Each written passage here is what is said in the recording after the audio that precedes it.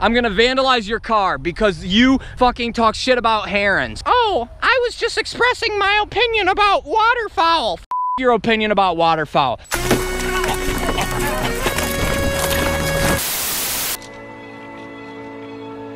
My Lambo got fucked because I put a crystal in the gas tank. I don't know what the hell I was thinking, man. I fucking lost it one night. I put a crystal in my car's gas tank. Yeah, he's Christian and he lifts. What's the problem, boss? Well, I didn't know anybody was Christian who lifted. I'm so happy to find this out. I'm gonna post this internet content on the internet where it belongs. A heron has come to my house.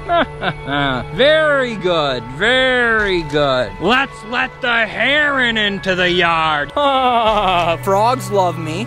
People sometimes do like me, and turtles also like me. The sky is not even hardly problematic. No! Stop! Bad, sky! Bad! Please Quit it. Quit your, don't sass me. Go buy a sheet cake and throw it at me. Throw a fucking sheet cake at me. You open up the door, you fucking slam me with a sheet cake when I'm in the shower. That's what's going on here. It's a civil twilight. I'm not feeling too civil though. Help me God, I'm gonna use nasal strips. Hello, I have a very important question. Are you letting people pet the lamb right now? Yes, we actually have a lot of people lined up to pet the lamb, but you are next in line. Please get up to the lamb now and express your love. Hello, lamb. I just want to express so much love to you. You have been so good to me, and you are so sweet. You bring out the best in me. Oh, your sweet ears are so nice to touch. I could pet you for an hour and a half. Ah, oh, good God, that's really nice. Do you think this looks more similar to heaven or hell? It's just Earth. It's just what we get to experience every day until we're dead in the fucking ground. I would love to go to an event where there's dogs. Yes, please invite me. I don't like events that don't have dogs. They don't seem very happy to me. I want you to know that the reason I got all these Creed tattoos was not as a joke reason, and it wasn't for a sincere reason. It was just for absolutely no reason.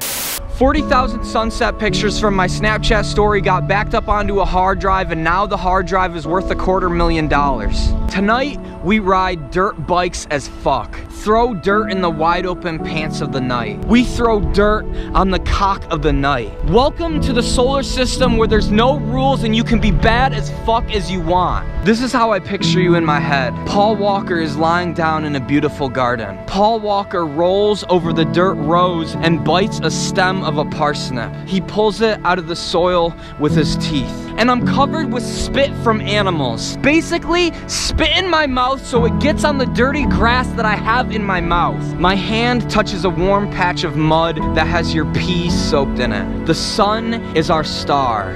This is our home. This is fucking awesome. That's all I'm saying. This fucking rocks. This is really good. Look at this. I know there's times when it doesn't seem like there's anything good.